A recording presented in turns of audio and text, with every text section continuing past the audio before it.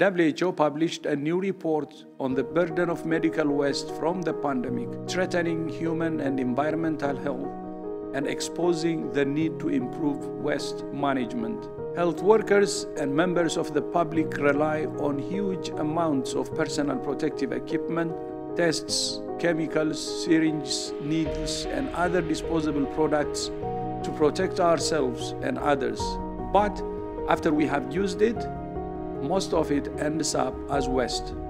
30% of health facilities globally and 60% in the least developed countries are not equipped to handle existing medical waste loads, let alone the additional COVID 19 load. This potentially exposes health workers to needle stick injuries, burns, infection, and affects communities living near poorly managed landfills and waste disposal sites.